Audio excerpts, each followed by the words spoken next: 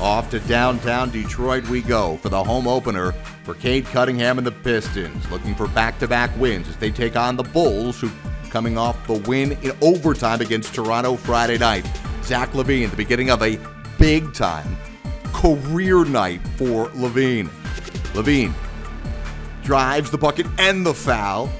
Detroit was up by three, though. Let's get it going the other way for Jaden Ivey, turning the corner and two hands for safety as he rises to the occasion to put Detroit up by three. Now, more of Ivey, the good, the bad, and the ugly. Uh, this is the good, and this is the ugly. Oh, Ivey, the steal, but couldn't convert on the windmill attempt.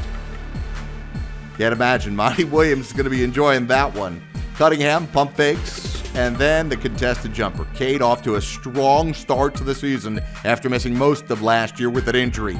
Pistons up 57 44 at the break. Third quarter, Jalen Duren sets the pick. Cade passes it to Duren for the slam and the opportunity for one more. Take a look at Duren. The big time throwdown in traffic. 10 point lead for the home team. Pistons looking for more, but Alex Caruso is a thief. Comes up with it and then drops it off to LaVine for the bucket and the foul. It was 81 75. Chicago down by six. Now Caruso playing more defense, stepping into the passing lanes. Caruso over to LaVine.